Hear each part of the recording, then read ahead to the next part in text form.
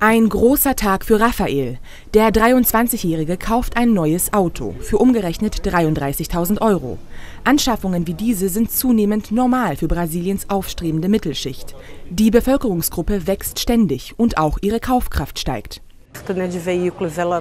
Jedes Jahr verkaufen wir mehr Autos. Es geht um die allerneuesten Modelle, sehr attraktive Autos.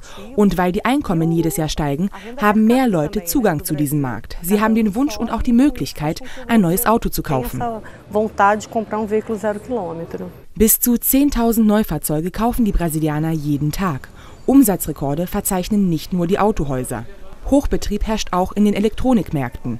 Haushaltsmaschinen wie Hightech-Spielzeuge verkaufen sich fast von selbst. Das liegt auch an einem leichteren Zugang zu Krediten. Der scheidende Präsident Lula hat das durchgesetzt. Seine Nachfolgerin Dilma will diese Politik fortsetzen. Innerhalb der letzten Jahre ist es viel einfacher geworden, alles zu kaufen. Vor zehn Jahren bekam man kaum Kredit. Heute ist das Leben viel einfacher.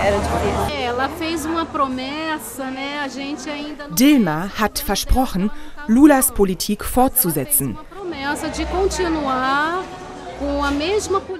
Wir werden sehen. Lula. Ihm schreiben viele den Boom in Brasilien zu. In seinen beiden Amtszeiten kamen mehr als 20 Millionen Brasilianer aus der Armut, 29 Millionen stiegen in die Mittelschicht auf.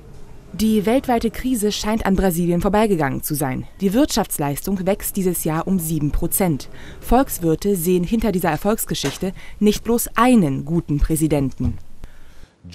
Zunächst einmal kommt die wirtschaftliche Lage dem Lande zugute.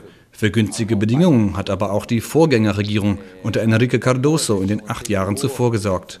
Sie hat die Wirtschaft stabilisiert, Kinder in die Schule geschickt und Lula hat dies fortgesetzt und Projekte wie das Familienstipendium hinzugefügt. Also 16 Jahre gute Regierung und günstige äußere Bedingungen. Lula tritt ab. Dilma soll nun für mehr Wachstum und weniger Armut sorgen.